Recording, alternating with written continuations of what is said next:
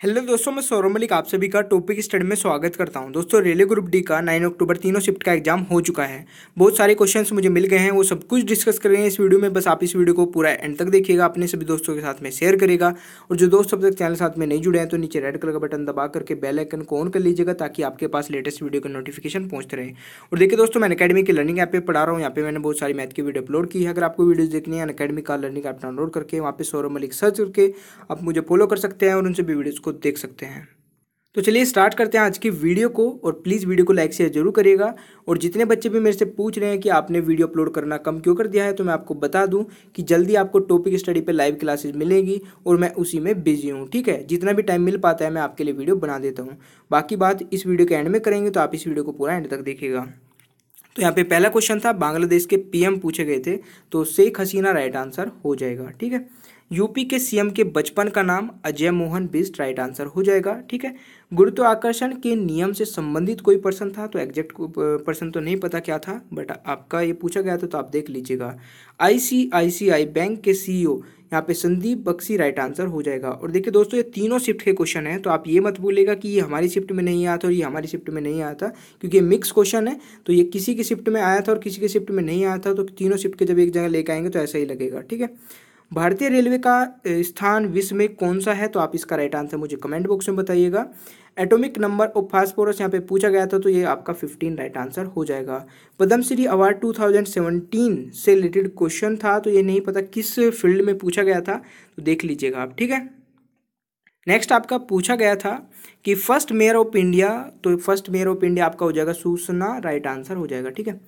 Next आपका kind of GST तो three type की जीएसटी होती है, आपका ये राइट आंसर हो जाएगा। विद्युत धारा की इकाई क्या होती है? एम्पियर होती है, सभी को पता है राइट आंसर हो जाएगा। मेंढक के दिल की कक्षाओं की संख्या, यानी कि जो चैम्बर्स होते हैं हार्ट में मेंढक के वो थ्री होते हैं, ये आपका पूछा गया था। ठीक है? टमाटर का रंग लाल किसके कारण होता है? तो लाइक को पिन राइट आंसर हो जाएगा। कामधेनु डेयरी योजना किस राज्य में चालू चलाई गई थी ये आपका यूपी में चलाई गई थी? अखिलेश यादव के जो सीएम थे उस टाइम पे, ठीक है? नेक्स्ट आपका था तमिलनाडु के मुख्यमंत्री तो एडापति के पलन स्वामी राइट आंसर हो जाएगा। नोकिया के सीईओ भी यहाँ पे पूछा गया था तो राजीव सूरी राइट आंसर हो जाएगा। हेड ऑफ़ दूरदर्शन तो सुपीरिया साहू, इसका राइट आंसर हो जाएगा। महबूबा मुफ्ती किस पार्टी से है तो ये आपका पीडीपी इसका राइट आंसर हो जाएगा, ठीक है? तो ये कुछ क्वेश्चन है जो आपके लगातार पूछे जा रहे हैं, ये रिपीट हो रहे हैं, ठीक है? कई कई बार पहले भी आ चुके हैं। नेक्स्ट आपका है, बर्सिलोना में भारत के नए राजदूत कौन है? तो ये इसका आंसर देखिए, मुझे नहीं पता, अगर आपको पता होगा तो राइट आंसर नीचे कमेंट बॉक्स में बताइएगा। पूना पैक्ट कब हुआ था? तो आपका 1932 में हुआ था, ये क्वेश्चन था आपका। और अमीर खुसरो से भी रिलेटेड कोई क्वेश्चन था? एग्जैक्ट क्वेश्चन नहीं पता है। देखिए क्वेश्चन कम है बट सारे रियल हैं। बहुत सारे यहाँ पे यूट्यूब पे फेक क्वेश्चन प्रोवाइड करा रहे हैं। तो ऐसा यहाँ पे नहीं है। जितने भी क्वेश्चन हैं, सारे के सारे रियल हैं, बच्चों से पूछे गए हैं। तो आप थोड़ा सा विश्वास करिएगा बस, इतना ही मैं चाहता हूँ। और वीडियो को लाइक शेयर तो आप कर ही देंगे, क्योंकि बड़े दिनों बाद मैं वीडियो बना रहा हूँ तो आप सब सपोर्ट करते रहिए लगातार। लाइव वीडियोज़ आपके लिए आने वाली है लाइव क्लासेज यहाँ पर बिल्कुल। ठीक है? यहाँ पे एक क्वेश्चन था रीजनिंग का। देखिए टॉपिक मैं वीडियो के एंड में डिस्कस करूँगा। पहले क्वेश्चन देख लेते हैं, जितने भी मिले हैं। क्वेश्चन था आपका, कुछ पेपर कागज़ हैं और कुछ कागज़ धातु हैं। तो यहाँ पे कुछ पेपर या सब, सबसे पहले आपने एक पेपर का वेन डायग्राम बनाया। कुछ पेपर आपके कागज़ हैं और कुछ कागज़ आपके धातु हैं तो ये वाला आपका पूरा बन जाएगा। यहाँ पे क्या बोला गया? कुछ पेपर धातु हैं। देखिए पेपर और धातु के बीच में कोई रिलेशन नहीं बताया गया तो इसका मतलब रिलेशन नहीं है। ठीक है? और यहाँ पे बोला है सभी कागज़ पेपर हैं। तो सभी कागज़ भी पेपर नहीं होंगे, क्योंकि कागज़, कुछ कागज़ पेपर हैं बट सभी के सभी कागज़ इस कंडीशन में आपके पेपर होंगे, क्योंकि ये कागज़ होगा, ये पेपर होगा तो ये कंडीशन में हो जाएँगे तो ये दोनों ही गलत हो जाएँगे, ठीक है? तो बोथ रोंग हो जाएँगे, आपका राइट आंसर हो जाएगा, ठीक है? नेक्स्ट आपका, एक ग्राहक ने दर्जी को कपड़ा सीलने के लिए दिया देखिए, कथन निष्कर्ष का एक क्वेश्चन था, एक बच्चे ने लिखवाया, मुझे जल्दी जल्दी में मैंने लिखा। यहाँ पे बोला जा रहा है, एक ग्राहक ने दर्जी को कपड़ा सीलने के लिए दिया, दर्जी ने कपड़ा समय पर सील कर नहीं दिया। ठीक है, अब यहाँ पे देखिए निष्कर्ष क्या क्या निकले हैं इसके। दर्जी ने समय पर कार्य नहीं किया। तो ओबियसली बात है, इसमें यही बताया गया है कि कपड़ा समय पर सील कर नहीं दिया है और दर्जी ने समय पर कार्य नहीं किया है। तो बात वही है तो ये राइट आंसर नहीं हो सकता। क्यों नहीं हो सकता? क्योंकि आपका जो कथन दिया गया है, उसमें से निष्कर्ष निकाला गया है। ठीक है डायरेक्ट में। तो आपका ये नहीं हो सकता। दूसरा बोला, दर्जी ने कपड़ा सिलने का ठेका लिया था।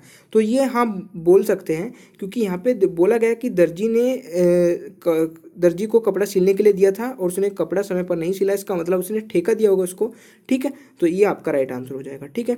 बाकी ये एग्जैक्ट जो लैंग्वेज होती है, वो पेपर की अलग होती है। बच्चा जो फ़ोन पे बताता है या फिर लिख के बताता है, वो एग्जैक्ट लैंग्वेज नहीं बता पाता है। तो ये थोड़ा अलग भी हो सकता है। यहाँ पे एक मिरर इमेज एक बच्चे ने बताई थी कि इस तरीके से मिरर इमेज बनानी थी आपको। तो देखिए, बहुत ही आसान सी मिरर इमेज है, इसमें कोई भी चेंज नहीं होगा, बिल्कुल एग्जैक्ट आपको ऐसा का ऐसा ही इधर बन जाएगा तो इस तरीके से राइट आंसर हो जाएगा, ठीक है? बाकी तो तीनों शिफ्ट के तो क्वेश्चन नहीं मिल पाए हैं, जितने भी मुझे क्वेश्चन मिले हैं मिक्स करके, जो भी है, ज़्यादातर इसमें सेकेंड और थर्ड शिफ्ट के हैं, ठीक है? तो चलिए, एक था, नीता एक लड़की की तरफ़ को इशारा करते हुए कहती है कि यह मेरे पापा की बेटी की बेटी तो बेटी है, ठीक है? तो नीता का उस लड़की से क्या संबंध है? आप थोड़ा सोच के देखिए, खुद पे मतलब खुद की फैमिली में ले जाइए। नीता एक लड़की की तरफ़ को इशारा करते हुए कहती है कि यह मेरे पापा की बेटी, यानी कि उसकी बहन हो गई। ये और ये नीता और ये बेटी जो हुई, पापा की पहले बेटी बोली ना, पापा की बेटी, ये दोनों बहन हो गई, ठीक है? बेटी की बेटी तो ये क्या होगी इस बेटी की बेटी होगी तो ये ओबियसली बात है, नीता की क्या हो जाएगी? नीता इसकी बुआ हो जाएगी। तो नीता का उस लड़की से क्या संबंध है? बुआ का, यानी कि आंट का? तो राइट आंसर हो जाएगा आपका ये, ठीक है? तो बहुत ही आसान से क्वेश्चन ये पूछा गया था। एक है आपका, गुणवत्ता का एक मूल्य होता है, ठीक है? भारत ने बहुत सी नीति शिक्षा के लिए निर्धारित की है। तो यहाँ पे हम देख लेते हैं निष्कर्ष क्या क्या है। भारत में शिक्षा की गुणवत्ता में शीघ्र ही सुधार होगा। तो यहाँ पे अगर देखें आप इस कथन को पढ़कर, निष्कर्ष को पढ़ के कुछ यहाँ पे रिलेशन नहीं बन पा रहा है, ठीक है? यानी कि देखिए, जो भी आपके कथन स्टेटमेंट कंक्लूजन वाले क्वेश्चंस होते हैं तो उसमें स्टेटमेंट पढ़ने के बाद में जो कंक्लूजन होता है, वो कंक्लूजन उससे मतलब या तो क्वेश्चन पूछे गए तो आंसर होना चाहिए, या फिर उससे एक क्वेश्चन नहीं पूछे गए तो उससे एक स्टेप आगे बात की गई होगी, ठीक है कंक्लूजन में। तो यहाँ पे बोला गया है गुणवत्ता का एक मूल्य होता है, भारत ने बहुत सी निधि शिक्षा के लिए निर्धारित की है। बहुत सी निधि शिक्षा के लिए निर्धारित की है। बट यहाँ पे ऐसा कुछ नहीं बोला गया कि जल्द ही या शीघ्र ही सुधार होगा शिक्षा में की गुणवत्ता में, ठीक है? तो ये तो हम नहीं कर सकते राइट आंसर नहीं होगा तो ये गलत हो जाएगा, ठीक है?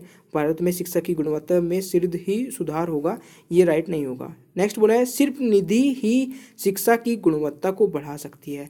तो ये भी कहना गलत होगा, सिर्फ़, ये बोला गया ना, सिर्फ़ निधि ही। तो ये नहीं होगा क्योंकि और भी और भी बहुत सारे फैक्टर होते हैं। जो बढ़ा सकते हैं शिक्षा की गुणवत्ता को, निधि ही एक ऐसा फैक्टर नहीं है, ठीक है? तो यहाँ पे सिर्फ़ और कुल और कुछ ऐसे वर्ड यूज़ होते हैं ना कि जिससे पर्टिकुलर वही कुछ काम कर पाएगा तो वो कभी भी राइट नहीं हो सकता है, ठीक है? चलिए, कुछ कंडीशन में हो सकता है, अब कंडीशन आपको पेपर को देखकर ही पता चलेगी। नेक्स्ट आपका यहाँ पे कुछ मोबाइल कैलकुलेटर हैं, कुछ कैलकुलेटर पेन हैं, कुछ पेन स्केल हैं। तो यहाँ पे आपने क्या बनाया? मोबाइल बनाया, ठीक है? कुछ मोबाइल कैलकुलेटर हैं तो कुछ मोबाइल कैलकुलेटर आपने बना दिए। कुछ कैलकुलेटर पेन हैं तो आपने कैलकुलेटर को पेन भी बना दिया, ठीक है? इस तरीके से कुछ कैलकुलेटर पेन भी बन गए। कुछ पेन स्केल है तो आपने कुछ पेन को स्केल भी बना दिया। तो इस तरीके से आपने पूरा बनाया। इसके बाद में यहाँ पे निष्कर्ष जो दिए गए हैं, वो क्या दिए गए हैं? कुछ मोबाइल स्केल हैं। देखिए, कुछ मोबाइल स्केल हैं तो स्केल और मोबाइल का कोई रिलेशन नहीं है तो हम इसको कट कर देंगे। सभी पेनों का कैलकुलेटर होना एक संभावना है। तो देखिए, बहुत ही अच्छी स्टेटमेंट यहाँ पे निकली है कंक्लूजन वाली। सभी पेनों का कैलकुलेटर होना एक संभावना है। देखिए पेन और कैलकुलेटर के बीच में सम वाली कंडीशन है बट सभी पेनों का कैलकुलेटर होना, ठीक है एक संभावना है, यानी कि हो सकता है कि क्या पता सारे के सारे पेन जो आपके वो कैलकुलेटर हो, संभावना में अगर बात की जाती है तो ये आपका राइट हो जाएगा। अगर यहाँ पे आपका हंड्रेड ये बोल दे जाता ये बोल दिया जाता कि सभी पेन कैलकुलेटर हैं, बस यहीं पे रुक जाता, संभावना वर्ड हट जाता तो उस कंडीशन में ये गलत हो जाता। बट संभावना वाली कंडीशन जो होती है आपकी, वो राइट हो जाती है। ठीक है? एक यहाँ पे था कि इनमें से भिन्न बताना था आपको। एन एम ओ यानी कि कैपिटल लेटर में लिखे हैं या स्मॉल लेटर में लिखा है, इनमें से भिन्न क्या होगा? तो देखिए ओबियसली बात है एन ये आपका जो लिखा हुआ है, ये भिन्न बन जाएगा तो राइट आंसर ये हो जाएगा। ठीक है भाई? तो आशा करता हूँ कि आपको समझ में आ रहा होगा। अब ये आते हैं कुछ मैथ्स के क्वेश्चन तो मैथ के क्वेश्चन भी देख लेते हैं। यहाँ पे बोला जा रहा है, एक सामान को एक हज़ार एक सौ बीस रुपये में बेचने पर बीस परसेंट की हानि होती है। उसको कितने में बेचा जाए कि चालीस परसेंट का लाभ हो? देखिए, कोई भी सीपी जो होती है कॉस्ट प्राइस जो होती है, लागत होती है, वो हंड्रेड परसेंट होती है, ठीक है? अब यहाँ पे इसको बेचा जा रहा है एक हज़ार एक सौ बीस रुपये में और इसको बेचने पर बीस परसेंट का क्या होता है? हानि होती है लॉस होता है। तो इसका मतलब जो ये एक हज़ार एक सौ बीस रुपये लिखा है ना, ये अस्सी परसेंट के लॉस वाली वैल्यू है, जिसमें अस्सी परसेंट का लॉस हो गया है। तो एक हज़ार एक सौ बीस को हम अस्सी से भाग करेंगे। हमें क्या कमाना है? चालीस परसेंट का प्रॉफिट तो इसमें एक सौ चालीस की मल्टीप्लाई कर देंगे, ठीक है? भाई, एक हज़ार एक सौ बीस को हम अस्सी से भाग करेंगे और एक सौ चालीस से मल्टीप्लाई कर देंगे। तो एक अस्सी से एक हज़ार एक सौ बीस जाएगा चौदह बार और चौदह से चौदह की एक सौ चालीस की मल्टीप्लाई करेंगे तो उन्नीस सौ साठ आपका राइट आंसर बन जाएगा। आशा करता हूँ कि आपको समझ में आ गया होगा। इस टाइप की कई क्वेश्चन पहले भी मैं आपको करा चुका हूँ। यहाँ पे एक क्वेश्चन है, देखिए एज से, ठीक है? एज का क्वेश्चन था कुछ, नजमा और लाल, लालिमा। नजमा और लालिमा की प्रजेंट एज का रेशियो दे रखा था थ्री टू फोर यहाँ पे बोला जा रहा था, चार साल बाद दोनों की आयु का जो जो योग है, वो उनतीस ईयर है, नजमा की वर्तमान आयु। नजमा की वर्तमान आयु यहाँ पे आपको बतानी थी। तो देखिए, नजमा की जो वर्तमान आयु है, वो कैसे निकालेंगे? भाई चार साल बाद का सम दे रखा है दोनों की एज का। तो ट्वेंटी नाइन है ट्वेंटी नाइन में से एट माइनस कर देंगे। क्यों माइनस कर देंगे? क्योंकि चार साल बाद का सम है और वो भी नजमा और लालिमा की दोनों की एज का। तो चार चार साल दोनों में से माइनस करेंगे, कितना होगा? माइनस होंगे एट ईयर तो ट्वेंटी नाइन में से एट माइनस करेंगे तो बचेगा ट्वेंटी वन अब इसमें हमें ट्वेंटी वन में से ये क्या हो गया? ट्वेंटी वन प्रजेंट में उनका सम हो गया एज का। प्रजेंट में रेशो दे रखा है थ्री टू फोर तो नजमा का हमें एज निकालनी है तो दोनों को प्लस करेंगे, चार और तीन सात तो इक्कीस को सात से भाग कर देंगे और निकालनी है नजमा की तो थ्री से मल्टीप्लाई कर देंगे। तो इक्कीस को सात से भाग करेंगे, कितना हो जाएगा? सात या इक्कीस और थ्री थ्री की थ्री में मल्टीप्लाई करेंगे तो नाइन ईयर आपका राइट आंसर हो जाएगा, ठीक है? तो कोई डाउट नहीं है सिंपल है। आशा करता हूँ कि आपको समझ में भी आ रहा होगा। नेक्स्ट आपका देखिए क्वेश्चन था इस तरीके से किसी काम को ए बारह दिन में कर देता है, बी पंद्रह दिन में कर देता है। यहाँ पे बोला गया कि शुरू में पाँच दिन ए कार्य करता है और उसके बाद ए कार्य छोड़ देता है। तो बचे हुए कार्य को बी अकेला कितने दिन में करेगा, ये क्वेश्चन था आपका। ठीक, अब ये नहीं मुझे पता किस शिफ्ट में था बट ये क्वेश्चन पूछा गया था। तो इन दोनों का आपने लिया एल्सियम आ गया सिक्सटी। सिक्सटी को ट्वेल्व से डिवाइड किया तो ए एक दिन में पाँच यूनिट वर्क करता है। सिक्सटी को फिफ्टीन से डिवाइड किया तो बी एक दिन में चार यूनिट वर्क करता है। तो सिक्सटी को आपने डिवाइड करके वर्क निकाल लिया। अब बोला गया है कि ए पाँच दिन तक सॉरी ए चार दिन तक वर्क करता है तो पाँच यूनिट वर्क एक दिन में करता है तो चार दिन में कितना करेगा बीस? तो यहाँ पे आपको क्या करना है, साठ में से बीस माइनस करना है तो कितना हो जाएगा आपका फोर्टी बचा रिमेनिंग वर्क चालीस। चालीस को करने कौन आएगा? ए तो चला गया, अब इसको करने आएगा बी। तो यहाँ पे चालीस को चालीस चार से डिवाइड कर देंगे टेन डेज़ आपका राइट आंसर हो जाएगा। देखिए क्वेश्चन बड़ा सिंपल था बट यहाँ पे बहुत से बच्चे गलती क्या कर सकते हैं? यहाँ पे अगर ये बोला गया होगा कि ए अकेला उस कार्य को, ठीक है? यानी कि बोला गया कि ए अकेले ने चार दिन तक कार्य किया। तो यहाँ पे सिर्फ़ ए ही कार्य करेगा, ये नहीं करेंगे कि हम बी ने भी कार्य किया होगा तो दोनों को मिला के फोर से मल्टीप्लाई नहीं करेंगे। बहुत से बच्चे यहाँ पे ये गलती कर सकते हैं। तो जब बोला जाए कि दोनों ने मिलके चार दिन तक कार्य किया तो आप क्या करेंगे? पाँच और चार नौ नौ की मल्टीप्लाई चार में करेंगे। बट अगर यहाँ पे ये नहीं बोला गया है कि दोनों ने मिलकर, यहाँ पे बोला गया है कि ए ने चार दिन तक कार्य किया तो सिर्फ़ अकेला ही चार दिन तक कार्य करेगा ए फिर उसके बाद जो बचा हुआ कार्य होगा, उसको करेगा बी तो आशा करता हूँ कि आपको समझ में आ गया होगा। नेक्स्ट आपका क्वेश्चन है कि ए जो पाइप है वो किसी टंकी को आठ घंटे में भर देता है बी उसी टंकी को बारह घंटे में भर देता है। अब यहाँ पे क्वेश्चन में था कि बी टंकी को भरने से पहले दो घंटे पहले बंद कर दिया जाता है। सॉरी ए जो है वो टंकी को फुल होने से पहले दो दो घंटे पहले बंद कर दिया जाता है। तो यहाँ पे अब सोचने वाली बात है, देखिए मैंने लिखा नहीं, मैंने सोचा कि आपको तभी वैसे ही बता दूँगा। यहाँ पे बोला गया था कि ए जो है ना, वो दो घंटे पहले बंद कर दिया जाता है टंकी के भरने से। तो जब ए को दो घंटे पहले बंद कर दिया जाएगा तो उन दो घंटे में वर्क कौन करेगा? उन दो घंटे में अकेला बी वर्क करेगा। तो बी यहाँ पे हमने वही एल्शियम ले लिया। ए इतने घंटे भर देता बी तो चौबीस आ गया, चौबीस को आठ से भाग किया थ्री और चौबीस को भाग किया बारह से तो टू तो यहाँ पे टू यूनिट वर्क आ गया। तो उन लास्ट के टू घंटे में किसने वर्क किया होगा? सिर्फ़ बी पाइप ने, क्योंकि ये तो दो घंटे पहले छोड़ देता है ना, जब जितना, जब टंकी भरने को आती है तो दो घंटे पहले एक कार्य छोड़ देता है तो इसका मतलब लास्ट के दो घंटे में बी ने वर्क किया होगा तो बी एक घंटे में दो यूनिट वर्क करता है तो दो घंटे में कितना यूनिट चार यूनिट वर्क कर लेगा। तो इस चौबीस में से चार तो माइनस कर देंगे, बचेगा बीस, ठीक है? अब पूछा है कि टोटल समय कितना लगेगा तो अब जो रिमेनिंग बचा, इसमें तो ए और बी दोनों लग रहे होंगे। तो ए करता है थ्री यूनिट वर्क और बी करता है दो यूनिट वर्क तो दोनों मिलकर पाँच यूनिट वर्क करते हैं तो बीस यूनिट वर्क करो करने में पाँच सॉरी चार आपका घंटे लग जाएँगे। दो घंटे ही इन्होंने लास्ट में वर्क किया था मतलब कि कंप्लीट होने से पहले बी ने तो दो घंटे वो हो गए तो टोटल आपके यहाँ पे सिक्स आवर्स लग जाएँगे छः घंटे आपके यहाँ पे लग जाएँगे, ठीक है? वर्क को कंप्लीट होने में।